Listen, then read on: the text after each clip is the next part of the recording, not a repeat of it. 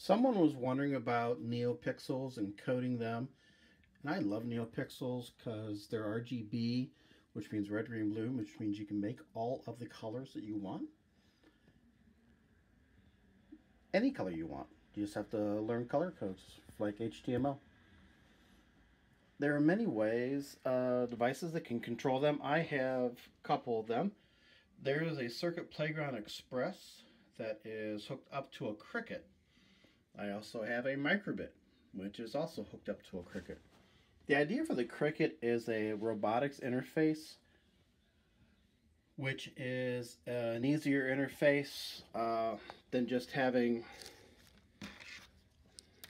these ports to plug into, which you have to solder onto.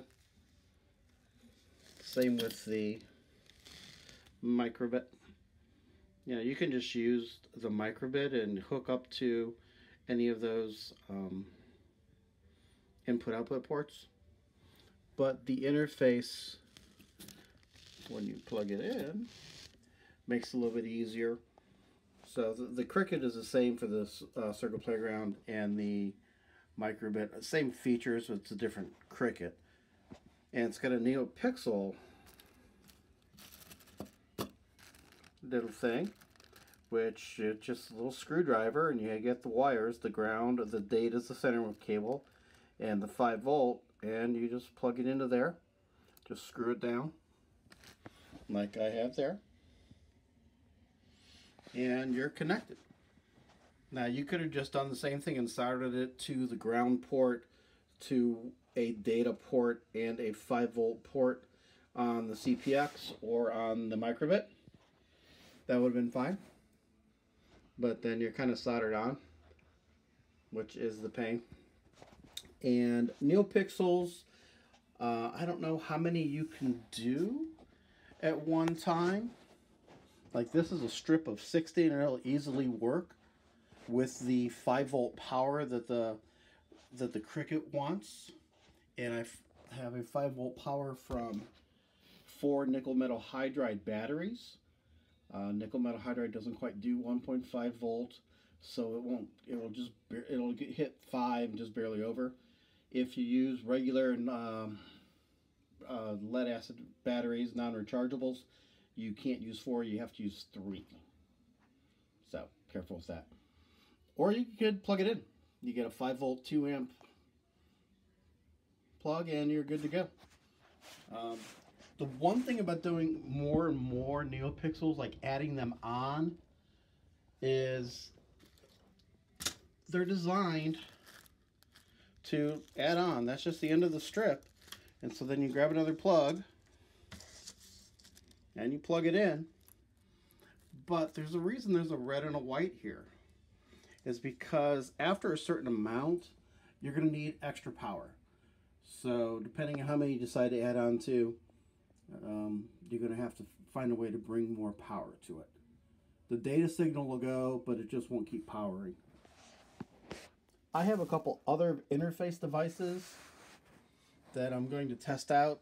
Um, a couple of them are new to me. Others are older. Um, this MakerBit is another interface like the Crickit. And it will um, use the microbit as its processor and also the Hummingbird bit. It will also use the Hummingbird as processor. But I don't think I can put any NeoPixels on here because it's going to set for its um, stuff. Its special hardware.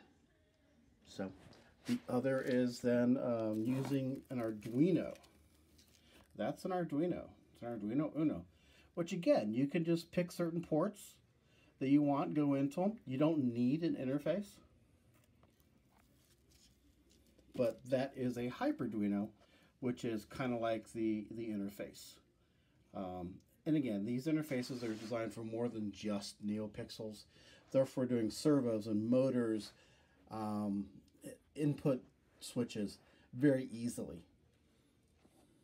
Multiple things. If you're just doing just some NeoPixels, man, just using a, an Arduino just using the microbit, just using the CPX, pretty easy. Uh, the thing with the Arduino, you have to learn Arduino coding. But again, there's lots of examples out there. So you just borrow someone else's code, tweak it. There's another little interface that is Arduino based that I have used on some things, and that's called a Gemma. It's that neat little thing. It has fewer ports, because again, if you're just doing one little thing, I think the gem's like $10. I think the Arduino's like 20 If you're just doing one little thing, just a couple ports is all you need. Um, so that's so you could do you know just one little uh, program with it. And again, you program it, power it, and you're good. Now you see up here in the corner there's these other NeoPixel kind of things. They make all kinds of rings of NeoPixels. Everything's individually addressable. So depending on what shape you want to do and how you, far you want to go, you could use rings. There's some ideas on NeoPixels and all the different interfaces again. Some are the, the, the, the idea with a hat or a interface is so it's just quick and easy. Plug it in, pull it out, plug it in, pull it out. Do multiple things instead of having to hardwire something and there, therefore you've dedicated your processor to that. I'll show you coding in a minute.